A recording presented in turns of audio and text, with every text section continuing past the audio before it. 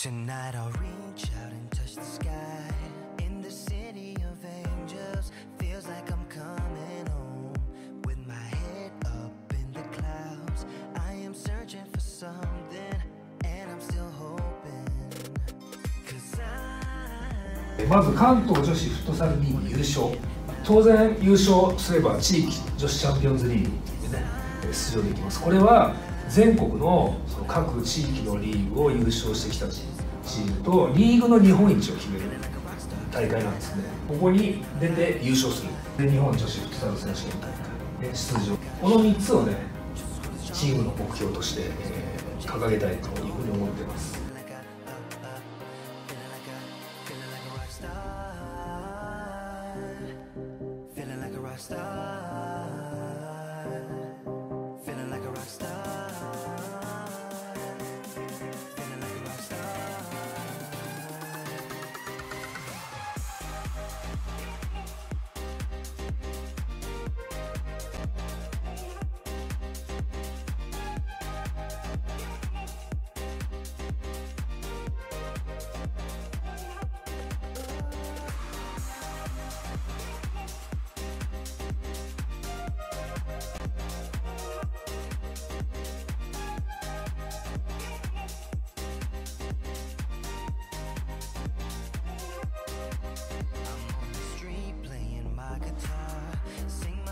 for some dollars to keep me going.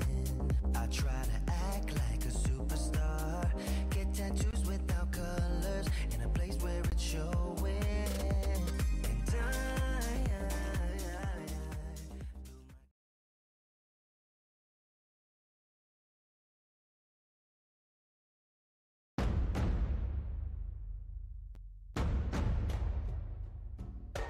何も言われなかったちゃんと絶対ついていく であと多いのがプレイていく。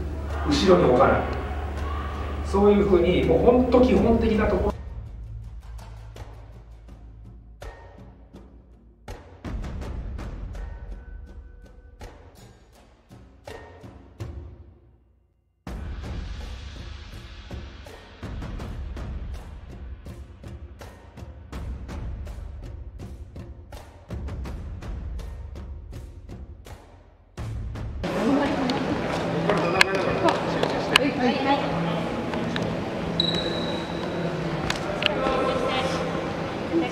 哎。